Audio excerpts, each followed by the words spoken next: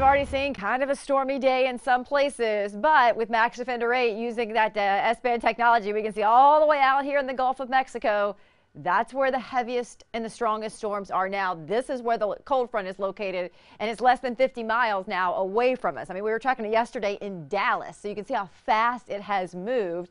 And this little batch of rain out ahead of it, it's actually exiting out of our area. So we're kind of drying up for the moment in Citrus County. We're kind of drying up for the moment in Pasco, in Hernando and Pasco counties.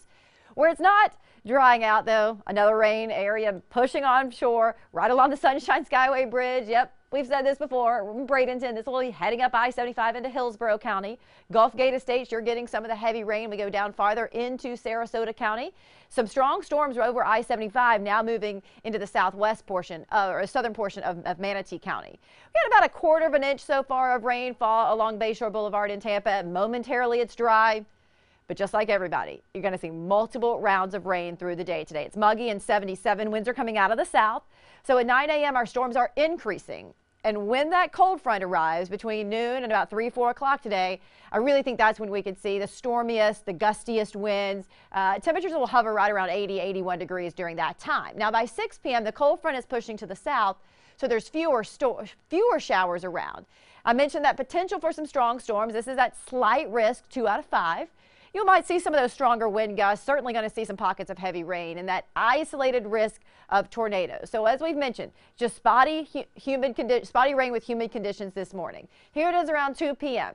Cold front is pushing from northwest to southeast. That's when we're going to see the strongest storms. Then lighter rain as we head into the evening and the winds are going to increase and they're going to stay strong through the next couple of days as light rain pushes off the Gulf of Mexico. So that's where I'm going to send it to Amanda Holly to deal with this wind and rain. Yeah, the severe threat for those storms is really going to diminish tonight, but the winds are going to keep the seas, unfortunately, really rough. So obviously not a good day to get out of the boat today with those severe thunderstorms possible that will be moving through. But even though we have some light showers passing through tomorrow, those winds, check this out, west at 20 to 25 knots still. That's going to keep those seas at 9 to 13 feet offshore with a very short wave period as well. Rough conditions on bay and inland waters on Friday get this, still on Saturday, down to a moderate chop in the bay. Uh, so if you're getting outside, you know, doing some of the, the bay fishing after this cold front moves through, it'll be a moderate chop. If you can hide from the wind, it won't be too bad. Still expect those passing showers though.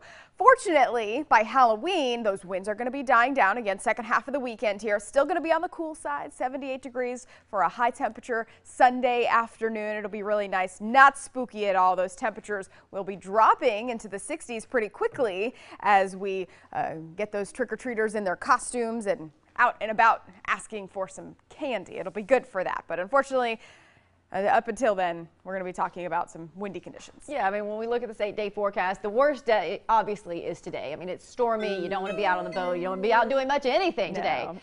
Even tomorrow, there'll be sunshine, but it'll, then it might cloud up, and then a little, little light rainfall. Same thing for through. Saturday. the good news is all next week pretty Beautiful. spectacular yeah. weather. Just got to get through today. We can we can take that. Yes, yes we will. All right, Dan, tell us what's wrong with the roads now.